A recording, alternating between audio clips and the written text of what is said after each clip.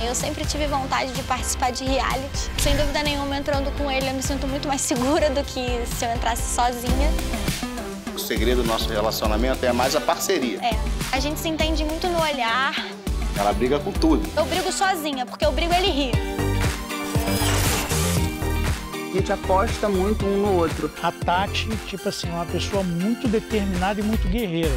Chega até a me assustar. Eu acho que a gente está preparado é, fisicamente, mentalmente, acho que a gente também está. Nosso objetivo é entrar no jogo e se jogar.